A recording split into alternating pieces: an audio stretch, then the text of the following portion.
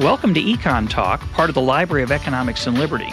I'm your host, Russ Roberts of George Mason University and Stanford University's Hoover Institution. Our website is econtalk.org, where you can subscribe, find other episodes, comment on this podcast, and find links and other information related to today's conversation. Our email address is mail at econtalk.org. We'd love to hear from you.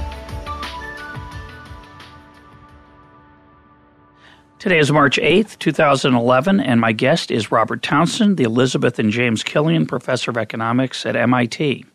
His latest book is Financial Systems in Developing Economies Growth, Inequality, and Policy Evaluation in Thailand. Rob, welcome to Econ Talk. Thank you. Very glad to talk with you.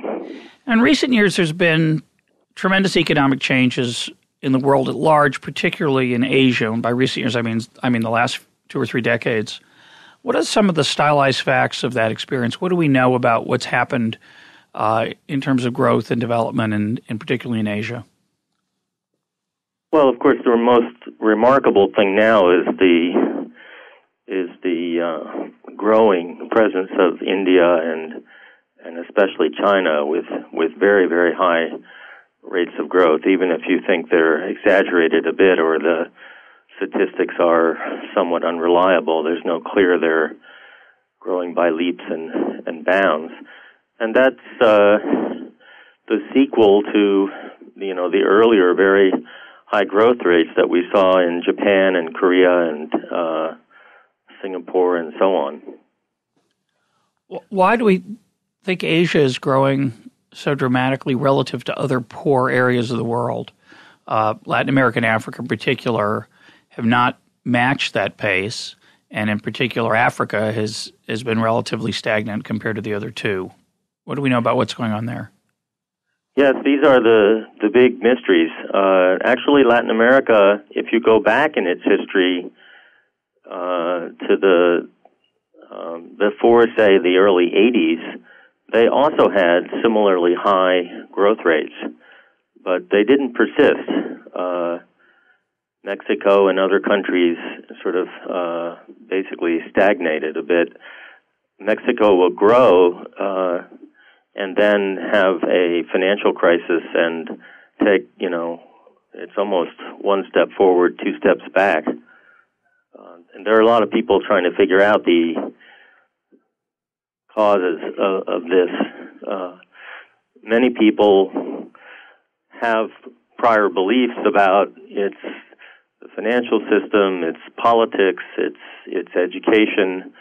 Uh, unfortunately, these pieces just don't come together very well. People don't consider a variety of hypotheses, and uh, unlike, say, some of the work we may chat about it in a few minutes. Is it a fool's game trying to answer those questions? In particular, you know, we all have, most of us have those prior beliefs. Um, confirmation bias is a big problem. What role do you think statistical analysis is ultimately going to play in trying to answer those questions? Obviously, people try to use it, they try to answer the questions, they try to hold things constant and look at the effects of one variable or another. But I wouldn't say any consensus has emerged. Do you think there's is that correct, and is there any hope of that happening? Well, I I think it's correct on both counts. There is no consensus, but I firmly convinced that we can get to the bottom of it. What's the evidence for that confidence? Well, it's a bit self-serving, but uh, myself and some other people have been basically combining, you know, various fields together, both uh, micro and macro, to try to uh, to get all the pieces. My my own view is one has to dig uh, pretty deep down and get existing data, or even do one's own surveys, and really look at households and and small, medium-sized firms, and see uh, distinguish among them which are somewhat successful, which are less successful. Try to get at the constraints. Once we're at constraints or obstacles, and also how some households and firms overcome those obstacles, then one can, extrapolate. Um, so you, in my view, start with the the uh, micro data, obviously not ignoring the environment and the macro climate, but you start with the micro data and build up from there. I know you've been doing that in Thailand. We're, we will get to that, but let's let's stick with the big picture for now. Um, there's a big debate in the literature. One issue we've, we've just been talking about is the causes of growth or the causes of stagnation. Um, there's another big debate going on about inequality and, and its relationship to growth. Uh, what's our uh, what's our knowledge there? That's um, I think there's a bit more of a consensus. There are controversies about Kuznets curves and you know whether it's inevitable that inequality will go up and then go down the way Kuznets had described. I think there's pretty much agreement that we don't have to experience Kuznets curves and rising periods of inequality are not inevitable. Um, at the end, related, people have been doing decompositions of the sources of changes of, of inequality into, say, occupation transitions or education or access to the financial system. And we're we're much more able to quantify now what's big or or what's small in those in those numbers. It's not a a proof, but it's it kind of tells you where to start looking to understand the sources of, of changes in inequality. Of course, one of the challenges in this kind of work is the quality of data and some of the barriers to, to even the best efforts. A lot of the transition we're talking about is going from an agricultural society to a more, say, manufacturing based or ultimately information based. And we don't have very good data on income and in agricultural economies, I assume. Um, well, it depends on the country. Um, some countries have been fielding socioeconomic surveys, fairly large cross sectional surveys. They're not panels, they don't necessarily survey the same households or the same firms year after year, but the sample size is large, and if you're lucky, depending on the country, those uh, data go way back. Uh, this is true, for example, of Mexico. Been Mexico from various ministries have been uh, there. There's quite a few sources of of data one can use, but yes, obviously in other countries, these surveys are not necessarily of high quality and and not nearly so comprehensive. I mean, for example, the irony, um, Korea, South Korea, that we know is quite successful for decades, um, doesn't have uh, detailed household surveys until relatively recently. So we can't go back deep into that history and really understand how the markets institutions uh, were evolving and we don't have firm documentation of the uh, household by household of the transition from poor agriculture to this, you know, tenth largest manufacturing uh, country. But anyway, I'm just echoing the point that sometimes you do have data and sometimes you don't. I, got, I was thinking more of the fact that household production in a rural agricultural setting, household production, that is stuff that isn't brought to market, is going to be hard to measure, and therefore it might be very hard to get a feel for what actual growth really is, or inequality for that matter.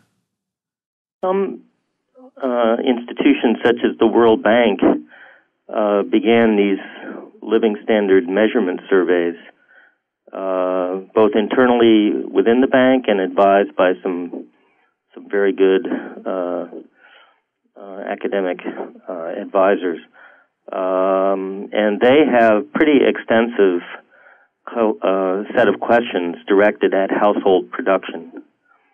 Um, it is quite true what you're saying that the conception of households in the national income accounts uh, would be as suppliers of labor and savings uh, uh, suppliers of factors of production and in turn the demanders of, of consumer goods. Uh, and, and that's definitely inappropriate for developing economies where so much of the production is done by the households themselves. Uh, could things be better? Yes, for sure. Ideally, one would be collecting the survey data, sort of aware uh, not only that households are producers, but also collecting it in a way that's consistent with, uh, you know, national income statistics, so we could get a better measure of what's going on in the household and the extent to which that household production is contributing to national income. It's it's a tricky problem even in a developed country when you have, say, in the United States, last half of the 20th century, revolutionary increases in, say, women's labor force participation, particularly women with children. Um, and you also have changes going the other direction with men's labor force participation going down, not as dramatically. But, you know, it's very hard. We take someone who's not working, we call them a zero. Uh, we don't put them in the sample, and they get a job. Suddenly they're in the sample. And so it's, I think, quite tricky to analyze what happens to the median in, in those um, in those data sets. We we feel like well the median's better than the mean because the median isn't distorted by outliers, but the median has its own problems when when there's big changes in the size of the pool and the people that we're pulling in were, were artificially classified as zero before. Oh, absolutely. I I I, re- I think of that in my mind as sort of transitions on the extensive margin. You just gave a, a, good, a good example of individuals engaged in home production, or at least you know working at home, who then go uh, and make a transition to the market. Uh, Kuznets, um, I find it a bit surprising, but the original conception of the national income accounts was to measure market activity, not all production. Sure. But we often refer to national income and national product as if it were inclusive. Right. Uh, well, yeah, we so, went. So I think the national income accounts are. Uh, it is a bit treacherous, uh, depending on the data you're using. But again, if we have, especially, I think if we have panel data, and we can track uh, what's going on in the household over time, then you can actually measure these transitions. Not, you know, not to mention that it's not like necessarily in the house. Uh, with housework uh, mixed in with with some leisure. This this is production on the farm or or in the household business yeah. uh, done in the village. So it you know depending on how much they're eating of their own product, it it may not show up as I think it ought to if it were done correctly in the in household uh, income and national product. Yeah, I mention it because recent uh, program we did with Tyler Cowen and his book, The Great Stagnation, I push the claim that in the United States, when people are talking about growing inequality or median income stagnation or slow growth, uh, one of the challenges of interpreting those data correctly is that there have been a lot of changes demographically in the United States over the last four decades. Huge increase in divorce rate, um, big increase in the number of households as a result. So that when we're looking at changes in mobility or quintiles, um, snapshots give a very different picture compared to panel data. So I totally agree with you that panel data is extremely important. We don't have very much of it here in the United States. We have some. And by for those listening, you know, panel data by panel data we mean you go to the same household year after year after year, and you ask them the same, ideally, or at least some of the same questions. You may add questions or drop them from time to time, but the core questions you care about, you're watching their progress, not the medians, comparing medians across time, uh, which is a very different statistical animal.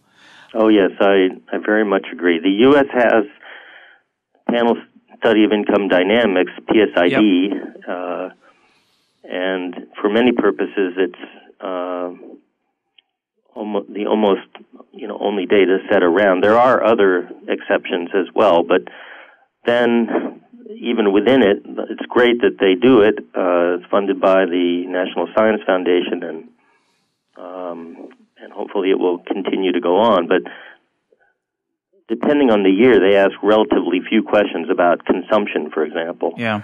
So you don't really uh, you don't really have the measures that you would like to have. So you have to get creative and combine, say, the PSID with the Consumer Expenditure Survey, which is largely a cross section. Well, not quite, because households rotate in and stay there for two, three quarters, and then they're rotated out again.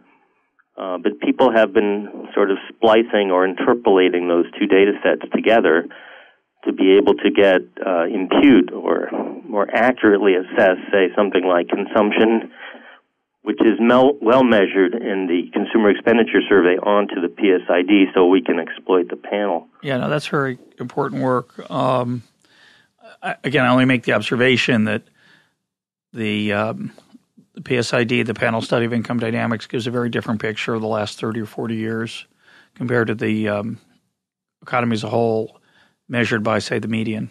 Um, well, that's true. Doesn't have Plus the stagnation. Have sampling issues. That's Um, correct. The good news with the PSID is they do try to track spin-off households as, say, the kids leave and set up their own uh, farm uh, family. But and uh, divorce. But then again, you know, one might want to sort of periodically, you know, reassess the sample and make sure we're we're sampling adequately to to pick up changing situations and trends in the economy. I, I can't help but say that it would be really great if the U.S. were doing more of this. Um, we can talk in a minute maybe about my work in Thailand, but if I've been actually contacted by the Federal Reserve, you know, like what would it take to field uh, a panel in the U.S.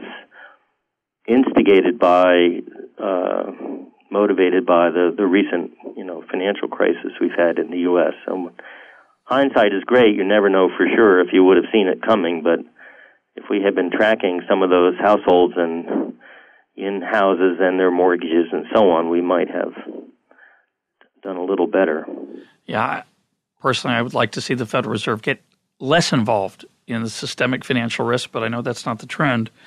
Um, Well, I'm, I'm not taking a policy no, stand. I know you're not. No, I know you're not. I just find it interesting that they'd want to. They're interested potentially in that kind of research, um, which I view as further example of mission creep on their part.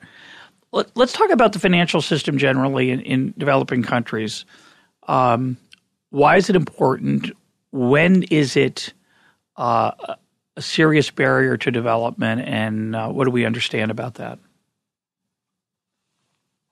the um, you know snapshot pictures of the say existing financial institutions in a in a developing country uh, provide at best a, a distorted picture. If you look at a country like Thailand or other countries by number of branches or balance sheets or uh, you know funds mobilized and so on, it will look like commercial banks are uh, large and a big part of the picture. But if you go into rural areas, at least, and actually in and in cities as well, depending on who you're who you're sampling, uh, commercial banks are often nowhere in sight, and so.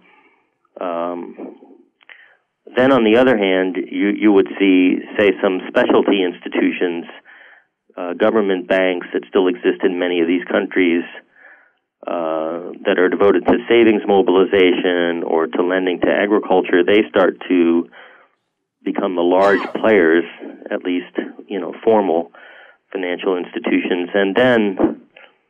Uh, they are actually rivaled by this massive informal market that exists out there with not just stereotypical money lenders, but also family, friends, uh, borrowing and lending, or or giving gifts and sending remittances. Those financial transactions are just huge. They're typically small. You wouldn't think it would mount up to much, but it often is as big or bigger than the measured transactions in the formal financial sector. You can think about the challenges a little bit if you think about the United States, which most people would say has a highly developed. I think anybody would argue that it has a highly developed financial system, right? So, on the surface, uh, it's a very highly developed system, but there are parts of the United States where there's no commercial bank anywhere in sight, as as the example you just gave, and where uh, payday loans are common, very high rates of interest, uh, and an informal networks, of course, uh, with people lending money at, at, very high rates, again, very high rates of interest. So, how do we assess, if we can at all, uh, how developed a, a, nation's financial system is? is? Is that the wrong question? I look at outcomes. Uh, you know, I look directly, first of all, at the at the consequences of uh, the financial system, not taking a stand on whether it's good or bad. Let's look, for example, at consumption again and see what happens to a household when they they have adverse shocks and, and income is, is quite low through unemployment or sickness or any number of uh, unfortunate events. If uh, if consumption drops as income drops, then indeed we've documented that they're vulnerable. Uh, on the other hand, it could well be they have ways of stabilizing consumption, uh, and consumption is largely immune to these large idiosyncratic income fluctuations. Positive or negative? I'm sorry, could you repeat that? Yeah, positive or negative. So if you got an income, a bonus, an unexpected right. bonus. Uh, yeah, you want to smooth off the peaks and fill in the valleys. Well, is that, let me ask you about that. Milton Friedman, in his theory of the consumption function, uh, made that argument, right? And it is largely borne out, I think, by data, and certainly in the United States. Uh, it comes up in policy discussions because temporary tax rebates tend to get saved rather than spent. Um, I remember when um, when Friedman uh, won the Nobel Prize, someone uh, asked him about how an unexpected windfall like this would affect his consumption, given his own theoretical work on it and empirical work. And ever the wit, uh, Milton replied, "Well, who said it was unexpected?" Um, with meaning that, that his life he was being, you know, facetious in part, but also in part, if if you do expect a, a gain in the future, you might start to spend it along the way. You wouldn't necessarily go wild um, when you receive the money uh, and, and, spend it all. You'd, you'd add it to your wealth, and your Friedman's argument was you would, as you said, you would smooth your consumption. But how much of that is is just a theory versus what people actually do versus what's desirable? How much of it's cultural? So when you're in a place like Thailand on the ground, what do we learn about how people feel about those kind of changes? Well, let me draw agree and yet draw a distinction. Friedman was talking about smoothing over time, sort of thinking about the permanent income hypothesis. Uh, and yes, that does assume there's a way to to uh, smooth off the peaks and fill in, fill in the valleys through, say, borrowing and lending and so on. Uh, I'm actually adding to that the idea of insurance across people at a point in time. Uh, if you had Friedman's world, there would be a lot of smoothing going on, but you wouldn't see a wave-like picture where uh, consumption is, say, moving up and down together. Smooth, yes, but not not coincident across the households. What what insurance adds is the capability of uh, basically through remittances, gifts, and so on, providing money to the unlucky poor at that moment uh, away from the lucky rich. I, I want to say lucky and unlucky in the sense that I'm not arguing for equality. I'm not taking a stand that we that efficiency means an egalitarian system. You can have long run persistent differences across households in terms of their levels so I'm sort of renormalizing against their long run average and then arguing that on top of that we could have we could have these insurance like systems. But to get to the answer to your question, um, I did this in India in, a, in an article in Econometrica called Risk and Insurance in Village India, which showed that for the most part, with some exceptions, households in a village were doing remarkably well at achieving this efficiency standard. It really raised a, a, a controversy because there were presumptions by policymakers and others that these Indian households near or, or below poverty would not be able to help themselves and organize among themselves in a way that I seem to be uh, finding. Um, so I, I then, uh, and and there is an exception, and I should say it right away. That is to say, the relatively uh, poor, the poorest among the poor, and those say with wage earnings as opposed to engage in agriculture actually were somewhat vulnerable, but not anywhere near 70 cents on the dollar converted into rupees, but rather in the order of maybe uh, 20 cents on the dollar. Every dollar of income fluctuation making its way into 20 cents worth of, of fluctuations in consumption. Yeah, that's that's pretty remarkable. And of course, it's um, a different economic system than than the, in the developed world, right? I assume what what were typically is there an answer to what what was the typical source of income for the for the people who were poor? Well, they're they're really quite diversified. Typically, some earning wages by working in the village or or outside of it. Some are tapping palm trees and making toddy liquor. Some are uh, rearing uh, livestock, bullocks that are used for plowing uh, or even some running stores and small businesses. So, uh, and that's pretty typical. It's not just sort of one homogeneous world out there. There's there's plenty of differences both in average levels of income and the sources of income. And yet somehow they're pooling all of that together as if they were in an implicit mutual fund and uh, and sort of eating the, the dividends. Now, one aspect, I, I derailed you from your, your starting point. Your starting point was that you don't look at the necessarily the particular institutions, but the outcomes. And you're talking now about the potential to smooth either through organized financial transactions or these informal methods of of assistance from family and friends, or even some agreements I assume that they might literally have, but that are just private agreements that we don't normally think of as financial institutions. But those are those are outcomes that make life more pleasant, right? So you your your shop loses business, you get hurt and you can't do your job, so you get laid off or fired. Um, the bullocks get on get sick and you can't raise them. They get you can't get any income from them. So bad things happen, bad luck outside of anyone's individual control, and having some sort of financial system to smooth consumption is important.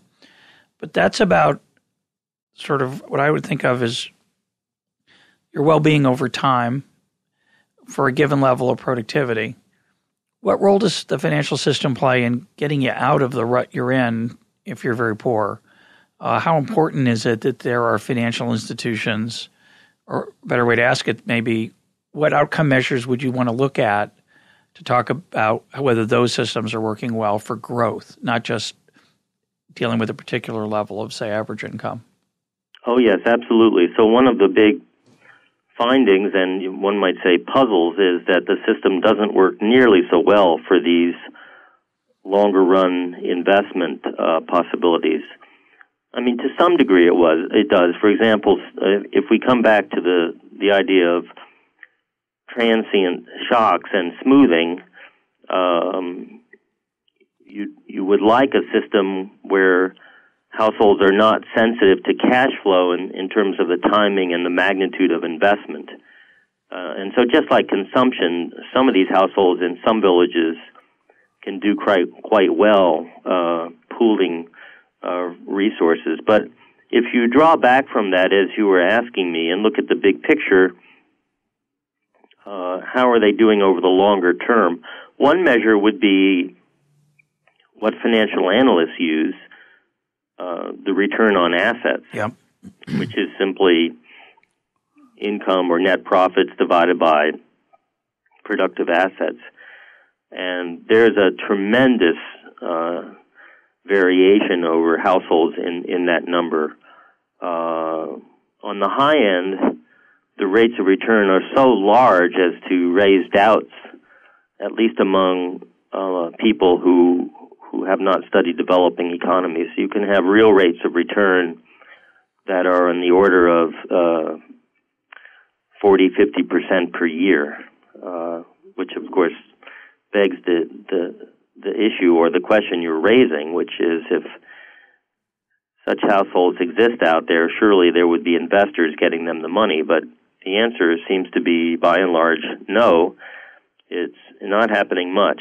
Um, and the other end of it is there are households who are running businesses and farms with relatively low rates of return. And so, again, if things were working better, you would expect these households to exit what they're doing and do something else with their labor and, and their resources but by and large, that happens slowly, uh, if at all.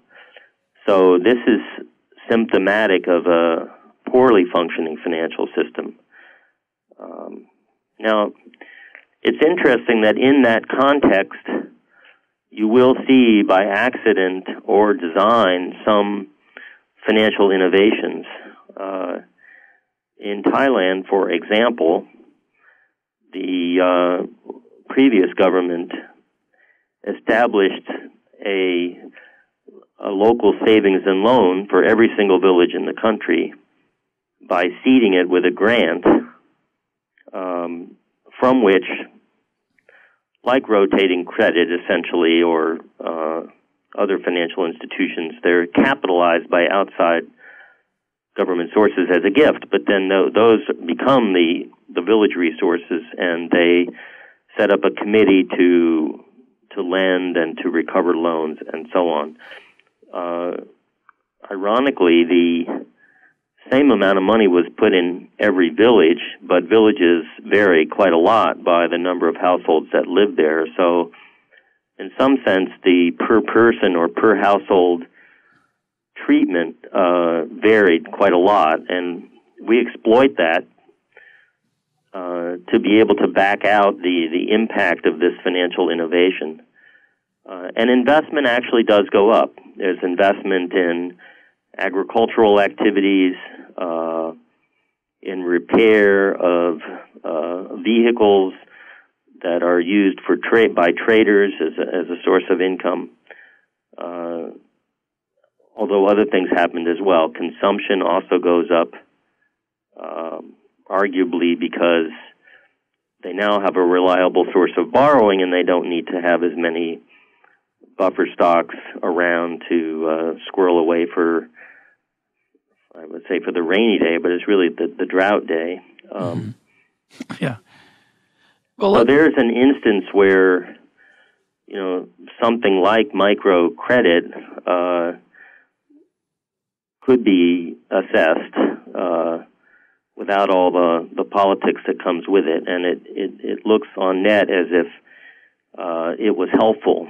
Um, now that said, you know there are alternative ways to to give away money other than uh, establishing a financial institution. So uh, the real winners in this were households who were constrained in the amount of investment that they could do, uh, and and other households would have preferred to just take a lump sum grant. It would have had the same consequences for the government budget. Of course, nowhere in what I said did we refer to the losses of the people who pay the taxes to fund this government program, but uh, but at least it does allow us to answer your question about the, the impact of microcredit and, and other financial innovations.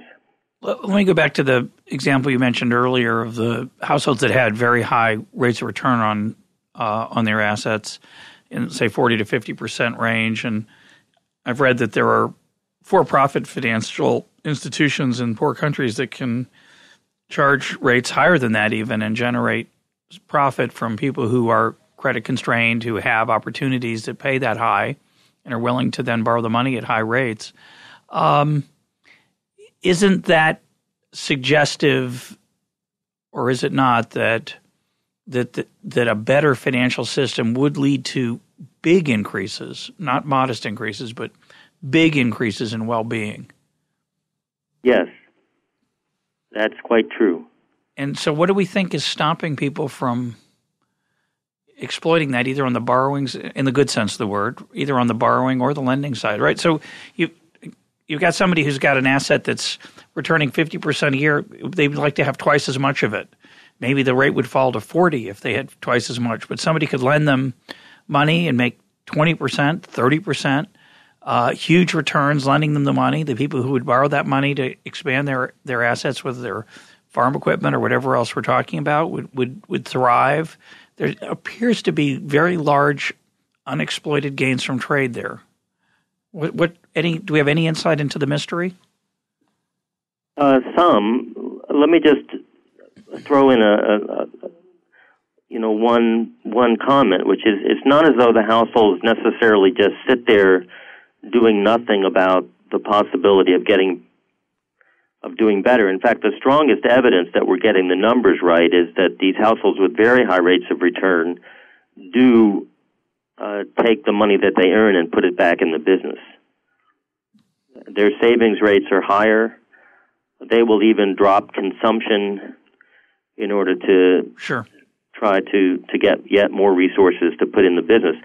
Um, Using yourself as a you bank. don't you don't see this catch up happening very quickly because they have a long way to go. I mean, it is true. One wonders how quickly the gains would fall off. You know, as in a say a Solow model, eventually with diminishing returns, you you get to a steady state. These households seem very far away from a steady state, even though they've some of them have been investing in their own business. Well, to come back to your question, um, the uh, I think part of the problem is that that these things are not uh, well understood, and that that people have priors one way or the other. uh, microfinance in India is in big trouble right now. Why?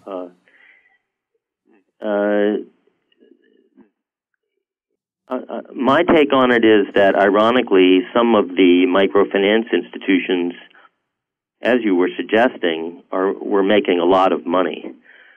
They start as not for profits.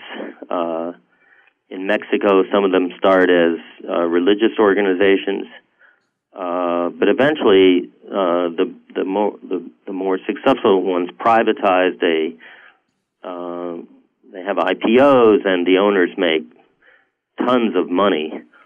Um, and then in Mexico, there's an investigation from the Congress, and in India, this hit the press, and it it it fed into this preconception that people are making money on the backs of the poor, and that this is this is evil, uh, and microfinance is supposed to be helpful, not supposed to be profit oriented. It gave a rebirth to the controversy that existed at the very beginning. ironically, at the very beginning, people questioned whether microfinance institutions could actually make profits. You know, setting aside whether they ought to. Right. The claim being, I, I guess, that the lenders wouldn't pay the money back. Uh, they just take advantage of it, and then the nest egg would be gone, and they'd have to start over. Right. That was the original worry. Well, or that these households didn't understand what they were doing and yep. they were going to be over indebted. Yep. And uh, uh, their life would be miserable and so on. Uh, that's not the picture, by the way, that, of course, that I'm painting, which is largely households with fairly low levels of debt and, and insufficient funds for some of them to take advantage of profitable opportunities. So in India, in, uh, uh, about a month or so after the banner headlines of how one of these microfinance institutions had made so much money, there was uh, another series of articles that over indebted households in Andhra Pradesh had no place to go and had committed suicide. And and this was quickly uh, picked up and spread, and the provincial government, the state, I guess, in Mahar, uh, Andhra Pradesh, issued a moratorium on repayment of loans, so that um, which basically destroys the culture of repayment. Yeah, it's a problem. And and they this is it happened uh, a couple of years ago in a small way, and now uh, in November of this year, and so on in a in a very big way. Um, that affects the flow of funds because to India and on into these microfinance institutions, outside investors are going to be leery of getting their money back. So venture capital money has been drying up. The the Royal Bank of India now realizes the problem and is trying to set up a, some kind of insurance pool to to keep things going. But in many respects, the, a lot of damage has been done. Yeah. So not all countries are like India, of course, but the, these sort of conceptions and misconceptions of uh, mixed in with you know politics have often been a barrier to innovation. Coming back to my earlier question about growth uh, and the role of finance, has this earlier success of microfinance in India been important in India's growth, or do you think it's merely just a, I shouldn't say merely just, but or is it only uh, a smoothing an insurance scheme? I don't know for India. I know there's a potential there. Uh, there have been evaluations of some microfinance uh, uh, uh lending. My colleagues, uh, Banerjee and Duflo, have done this in Hyderabad, and uh, again, it's it's not a resounding success for all the borrowers. So many people don't borrow at all, and uh, those that that do sometimes use it for consumption, which in my mind is fine. Uh, but you you can find this sort of subset of the population of entrepreneurs who either set up a business or expand their business, and um, and I guess it's important to repeat that that's like my Thai data. It's not all these households. It's just a subset. Now, for India, I don't know what the impact is of this spread. For Thailand, we've actually built economic models based on these uh, data and have simulated uh, the experience over the last 30 years with the the spread of financial institutions, not so much microfinance institutions. Thailand actually doesn't have very many of those apart from these village funds, but uh, the spread of uh, a government bank for agriculture, for example. Uh, and we can actually explain about 75% of the movement in macro total factor productivity with this deepening of the financial system. What does that explain that phrase? Because it, what does it mean to deepen the financial system? What do you have, what do you mean by that? Deepening the financial system means that there are more branches of banks, there are more uh, borrowers as well as uh, savers, and it's oh, this, so this this is like that extensive margin we referred to earlier, where you were saying uh, some households don't work or only work at home, and then they go into the wage labor market. Well, in this case, some households don't uh, engage with formal sector financial institutions, at least not at first, but then eventually many of them make that transition. Uh, so if you go to a cross sectional data set that the Thai government has been collecting since 1976, they fortunately asked a question, noisy but uh, but useful question, which is, did you have a transaction with this bank for agriculture or with a commercial bank? in the previous month. Back in 1976, basically only uh, 7 or 8% of the households ans- answered the question affirmatively. Uh, but over the years, between 76 and say uh, 96, a period of very high growth for Thailand, uh, that number rises by threefold. Wow. So that's what I mean by financial deepening on the extensive margin. I guess TFP or total factor productivity is probably better understood, but just to to review it, it's it's it's the amount of output that you can uh, produce, both taking into account land, labor, and capital, but also sort of a productivity term in the aggregated production function.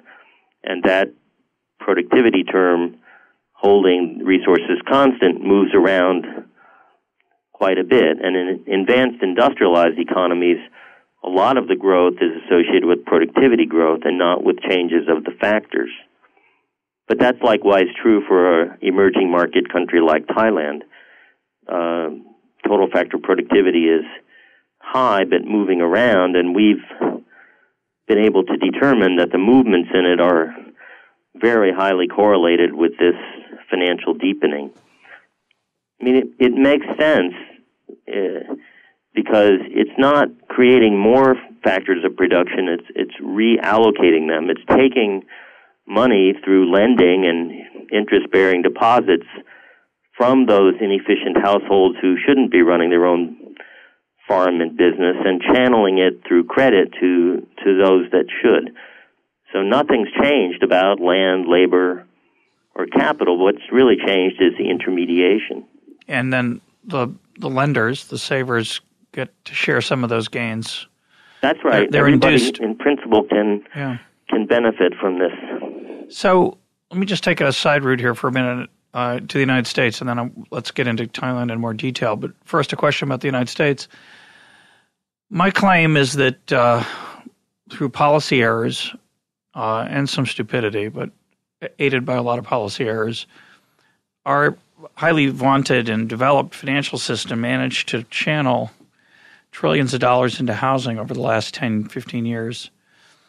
A decision that, I mean, we think of the financial system is key for allocating capital, the story you just told, and people on Wall Street will constantly tell you that they play a crucial role in, in our standard of living and our productivity because the allocation of capital is clearly a hugely important issue. But I would suggest that in recent years we've misallocated capital rather remarkably in the United States. Do you think that's true?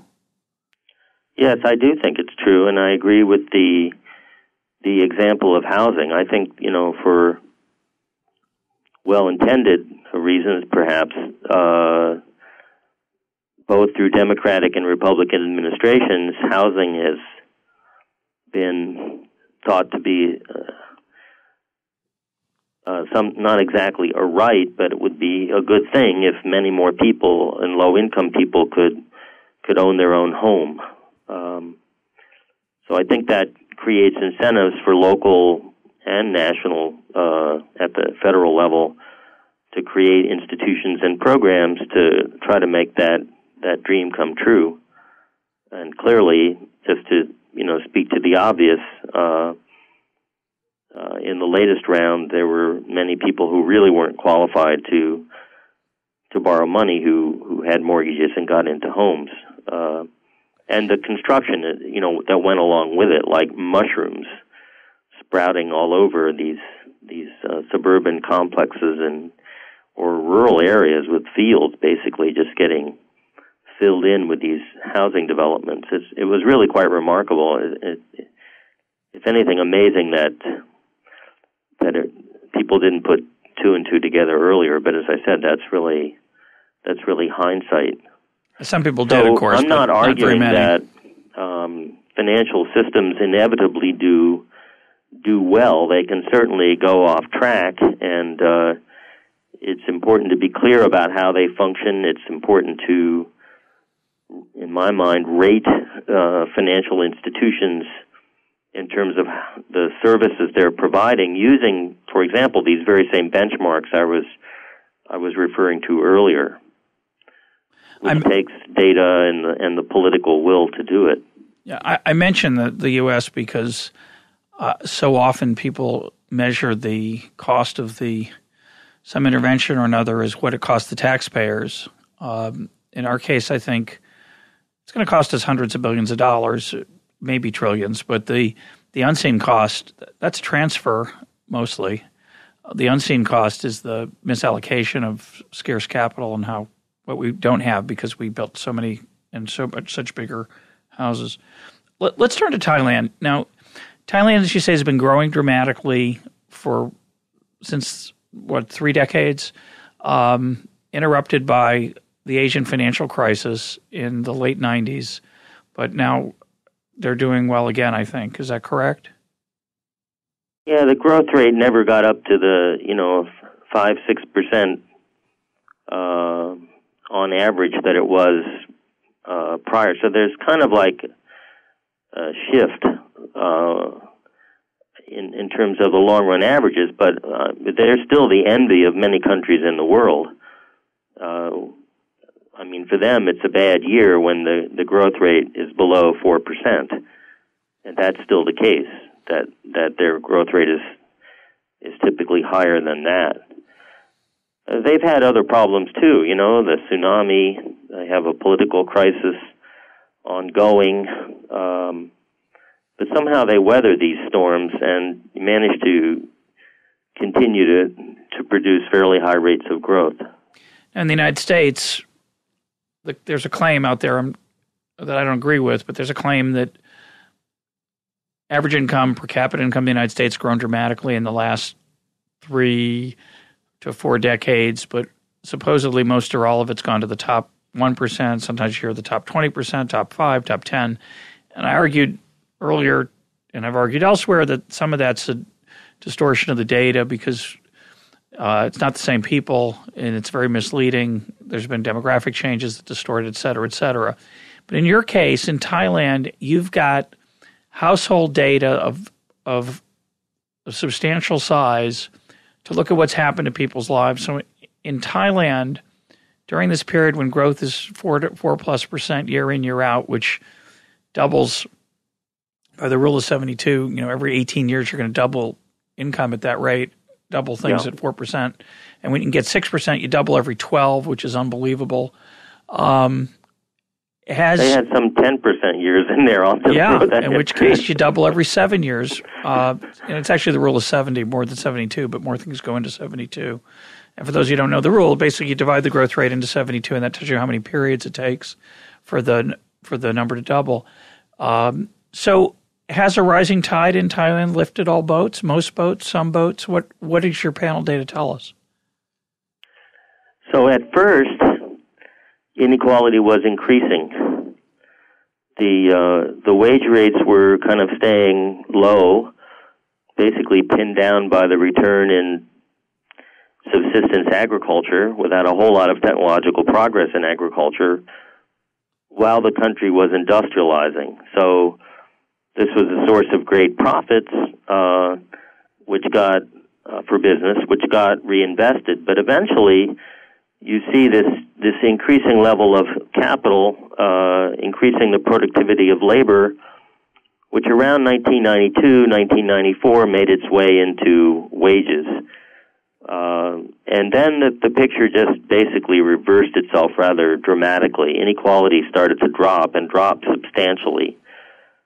It via, is a bit like the rising really... tide raising boats. So these are households who are benefiting indirectly from the industrialization through through higher wages. And is this an urban? There, there was a bit of a of a backstep in the financial crisis. Uh, inequality went up again uh, pretty sharply for a year or two, but then relatively quickly it fell back down and is now lower than it was, uh, I think, prior to 1997. Is this an, a rural urban transition? When you, when you talk about the industrialization, are these people leave? Is this a case where people are leaving farming and coming to factories? Somewhat, yeah. The the the number of people who are say earning wages is going up. It's become the single la- largest category of people. Whereas if you go back to 1960, say, it's uh, farm and non-farm self-employment. It would be the largest category. Um, surprising to many people, corporate profits still are not the biggest source of income in the in the national accounts. Uh, profits are maybe 22% of of all household income, uh, whereas some of these other numbers are 40 or 50%.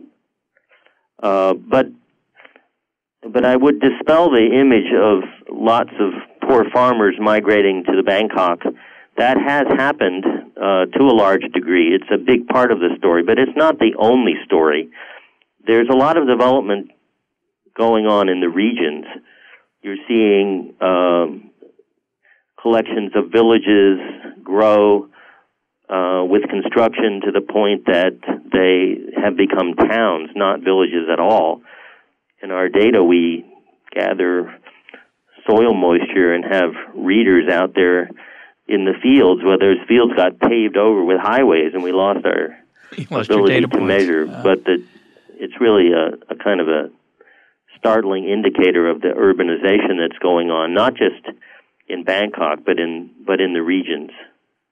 Uh, and and small business plays a very big role. I know we're going back again, circling back again to the things that we talked about before, but but uh, it's still the case that a large chunk of national income is coming from uh, these hundreds of thousands of small household businesses, often without hired labor, that that make money and when added up, uh, contribute a substantial chunk and and they have been expanding as well. Not everywhere, not uniformly, but but red hotspots, areas of agglomer- agglomeration, particularly in the in the rural areas. Give me some examples of what's going on in those small self-employed businesses.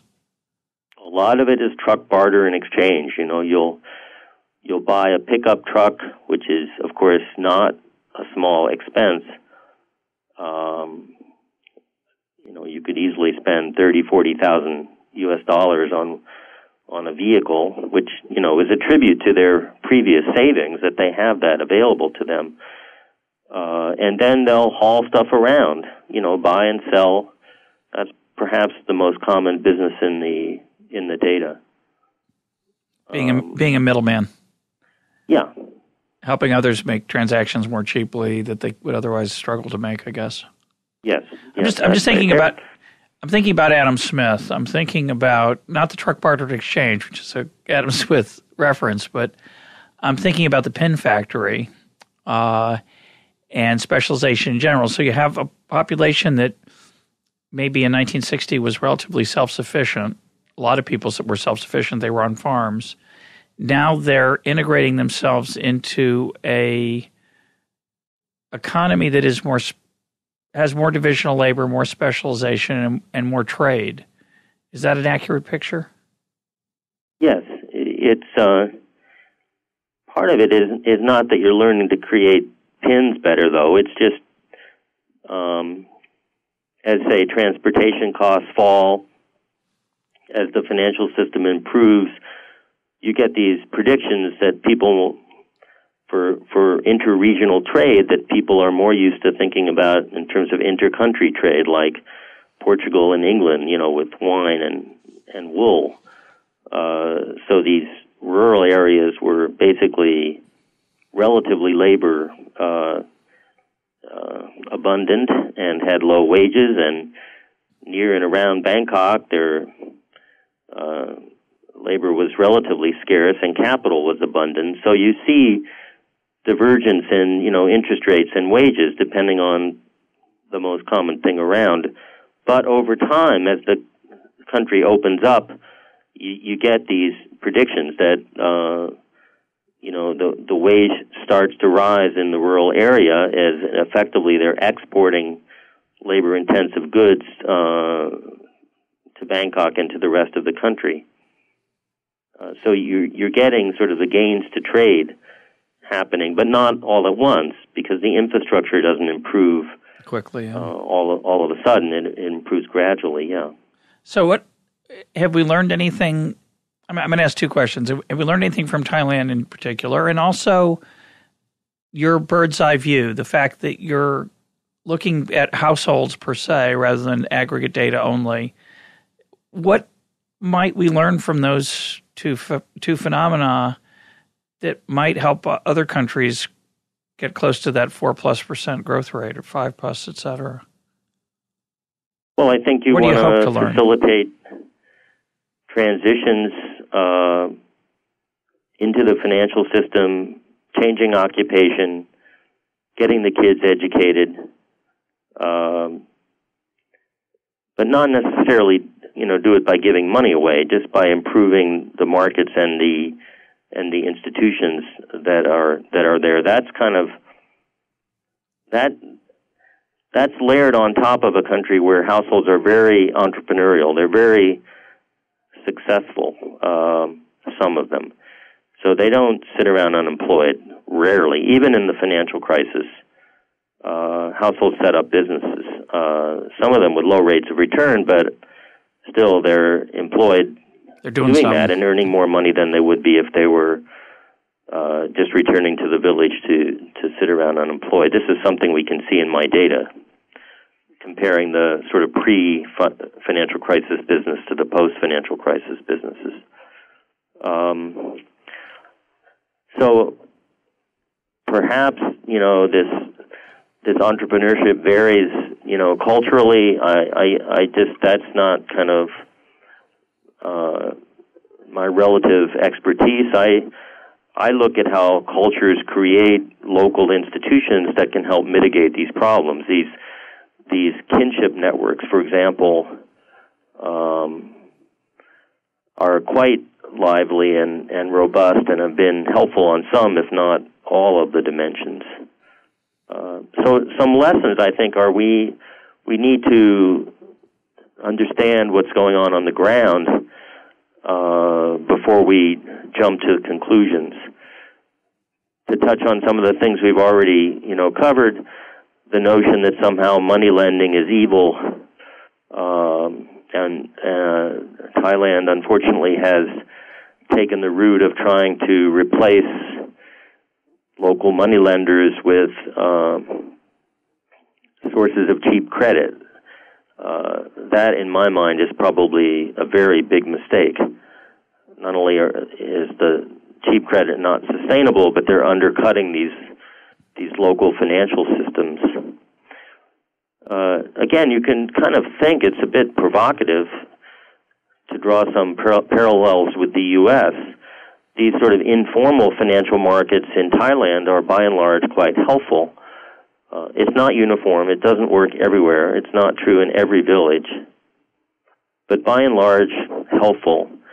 Whereas in the U.S., we seem to be going in the direction of stifling financial innov- innovation. This is a tricky business. Uh, we have to sort of get to the bottom of where the distortions were without uh, adopting policies that really dealt with the symptoms and not the underlying disease. So, uh, you know, a policy of thwarting the informal financial market, which in some instances all these households have going for them, is, you know, arguably a, a bad policy, at least in Thailand. And it gives me pause when I think about um, over labeling uh, financial institutions in the sense of sort of drawing a, a plan and saying this kind of institution should be doing X and another kind of institution can be doing Y. You could, if they cannot then coordinate with one another in some way, you can definitely uh, cause some problems. Or as F.A. Hayek said, the curious task of economics is to illustrate to men how little they really know about what they imagine they can design. and it's um, well, there's. I'm thinking about I'm having a lot of fun. Uh, I enjoy what I do quite a lot, and and I and I really it, there is kind of a sense of discovery when you have the data I have. We can actually look and see what's what's going on. It's it's kind of never enough. Of course, one always wishes one had more, but uh, but I really think many countries would be much better off if if they not only had these kinds of data, but they had the frameworks uh, so that they can interpret them and and base you know base policy on on the conclusions of the analysis. Well, we're almost out of time. Let me ask you one more question, a sort of tricky one. Um, we've gone through a couple of, of changes in the United States and in response to the crisis, which I couldn't help thinking of when you're make, you're making your last comment. I was thinking about consumer protection. Often attempts to protect consu- consumers will make them worse off if it's done poorly. And I think there's a tendency among some folks to assume that policy is always designed with the best of intentions. Um, and that when things go wrong, there are unintended consequences. That's part of life. I tend to think that there are fewer unintended consequences than people think, that a lot of consequences are intended. And in the United States, the financial sector is pretty politically savvy. Not pretty, it's extremely savvy and extremely powerful.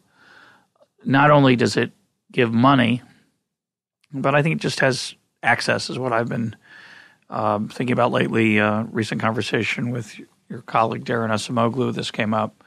Um, in other in these developing countries, what are some of the political forces that inhibit or help uh, good policy with respect to financial systems?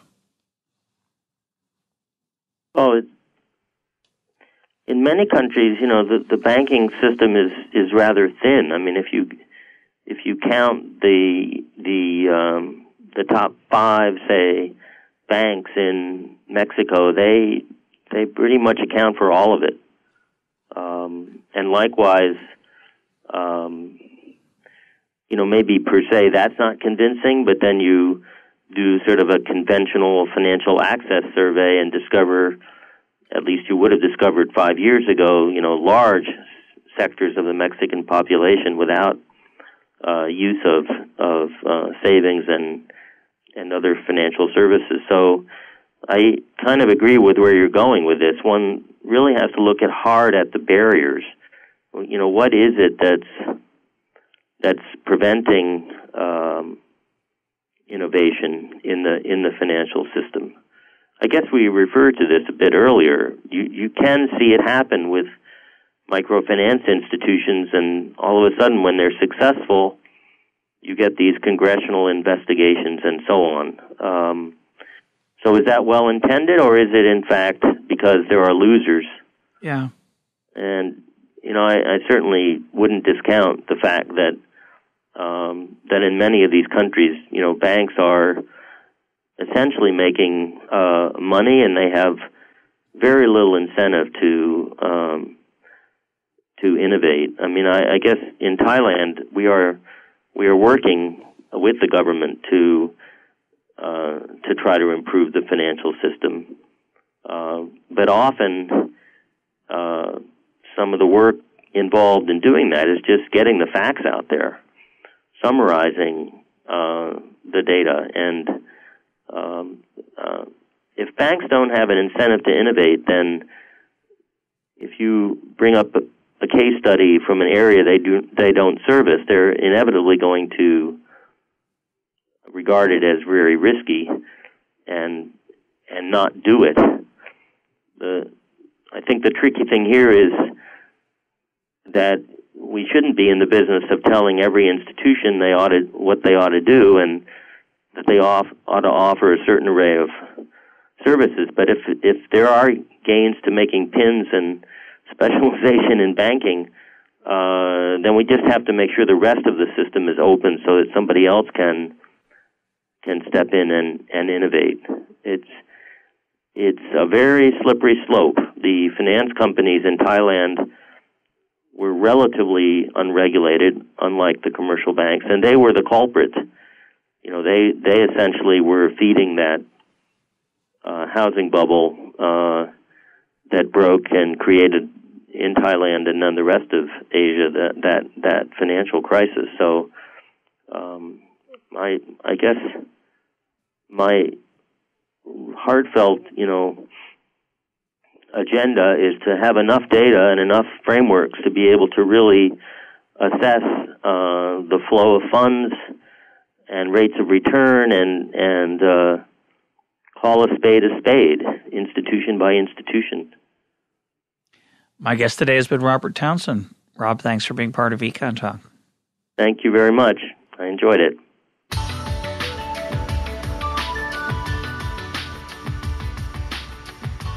This is Econ Talk, part of the Library of Economics and Liberty. For more Econ Talk, go to econtalk.org, where you can also comment on today's podcast and find links and readings related to today's conversation. The sound engineer for Econ Talk is Rich Goyette. I'm your host, Russ Roberts. Thanks for listening. Talk to you on Monday.